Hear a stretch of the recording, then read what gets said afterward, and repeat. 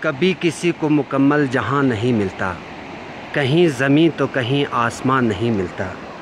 جسے بھی دیکھیے وہ اپنے آپ میں گم ہیں زبان ملی ہے مگر ہم زبان نہیں ملتا۔ جی اس وقت ہم کرپوکھر سانکو سے بول رہے ہیں۔ اور آج ہم چار اگست دو ہزار اٹھارہ کی بات کر رہے ہیں۔ اور میں ہوں آپ کا دوست محمد حسین ریاض کرپوکھر یعنی راجہ تھی محمد سلطان کی۔ اگر اس کے بارے میں اگر کہا جائے تو انہوں نے سلطنت کی پورے کرسے علاقے میں سنہ ستارہ سو عیسوی سے لے کر ستارہ سو چھیالیس اور یہاں پہ انہوں نے حکومت کی پورے کرسے علاقے پر۔ تھی محمد سلطان یعنی کہ ٹھیلا خاتون کے باطن سے پیدا ہوا کے لیے۔ تھی محمد سلطان کی تعلیم و تربیت کے لیے کشمیر سے سعید میر ہاشم کو لایا گیا۔ سعید میر ہاشم کے ہمراہ سبحان میر منشی اور آخون فاضل بھی آئے۔ یہ سب امور سلطنت میں راجہ کے مشیر تھے۔ دوستو، سعید میر ہاشم کا انتقال کرپکھر میں ہوا اور وہیں مدفون بھی ہوئے۔ مقبرہ ان کا آج تک مرجع خلائق ہے۔ آخون فاضل کو راجہ نے واقعہ میں رکھا، جہاں اس کا خاندان اب تک سکون پذیر ہے۔ جی آپ سعید میر ہاشم کا مقبرہ آپ دیکھ سکتے ہیں۔ یہ ہے ان کا مقبرہ۔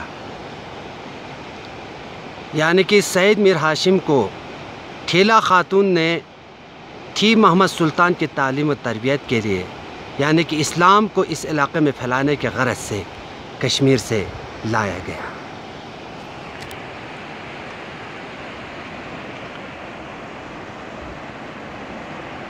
تھی سلطان کا بہاری دارالحکومت کرپوکھر اور سرمائی دارالحکومت کرسے گھر تھا۔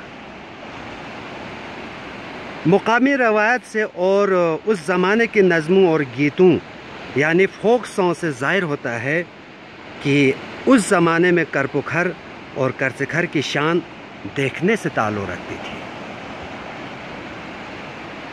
کرپوکھر لب دریا یعنی جہاں پہ ہم اس وقت بیٹھے ہیں۔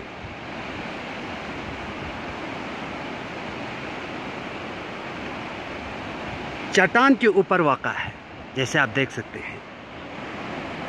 راجگاہ نسر کرسے کا گرمائی دارالحکومت تھا۔ ڈوگرا حملے کے دوران نظر آتش کیا گیا۔ اب صرف کھنڈر باقی ہے۔